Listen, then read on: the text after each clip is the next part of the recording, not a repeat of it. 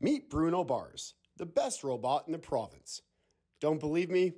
Just watch. Designed, built, and operated by the Our Lady of Lourdes Catholic High School robotics team, Bruno brought home gold at the first Robotics Ontario Championships in North Bay. We take students from transportation, from manufacturing, from computer engineering, and together they put together an amazing robot like this for the challenge. And in North Bay, we, we were able to get all of our, our uh, defects uh, worked out and fixed and everything firing in all cylinders, as I call it. And we were able to clean up in first place in North Bay. Founded in 2008, the Our Lady of Lourdes robotics team has been working towards this championship for 13 seasons.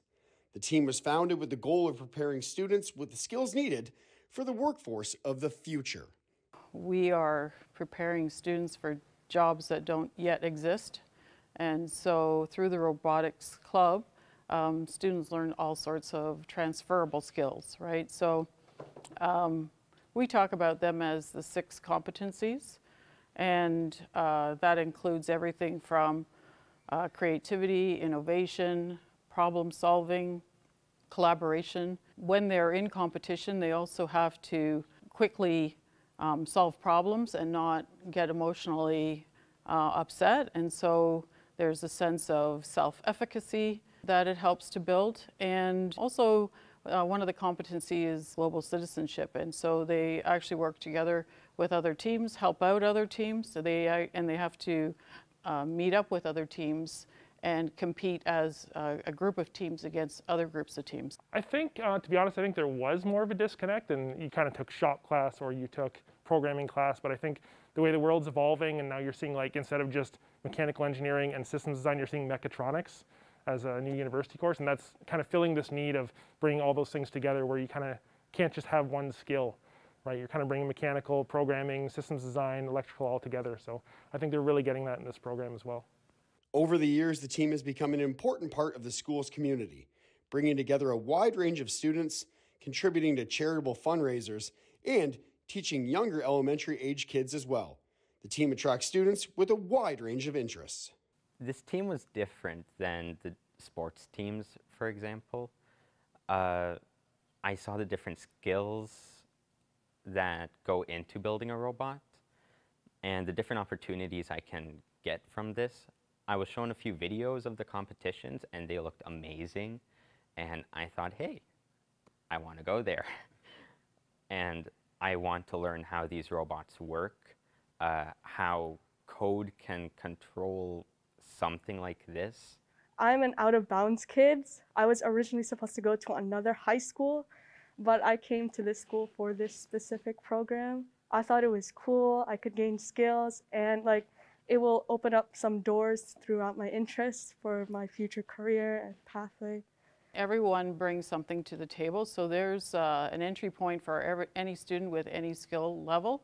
Um, there's a communications component to this as well, and, and so um, uh, even students who are not, you know, driving the robot or fixing the robot or programming the robot are gauging other robots during competition, gathering information and statistics. So everybody's got a role to play, and that's uh, and that builds community as well as uh, a cohesive group. Like many things this year, the robotics season was a bit different due to the pandemic. Uh, we've been at home for two years now, and no teams were running, no clubs were running, and we realized, you know, mental health is kind of going lower and lower. So we wanted to give the students an opportunity to do something. And it took a bit of convincing uh, to let the school board let us run the team. And then first announced we will have competitions, official competitions. So we signed up as fast as we could.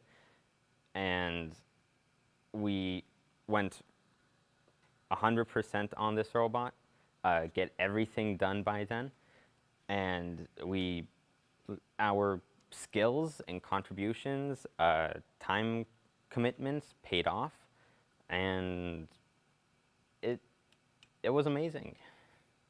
Lots of jumping and yelling. Dominic Robel is the driver behind Bruno Bars' success in competition, although at the start of the season, Robel thought he'd never be the one in the driver's seat. I recently turned 16, so I do not have my driver's license, but I hope you don't need a driver's license to drive this. Actually, the hardest part came at the competition.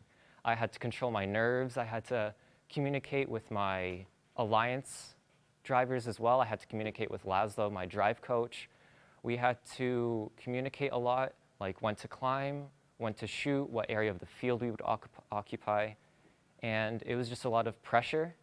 I ended up coming through with the help of my awesome teammates who cheered me on all the way through.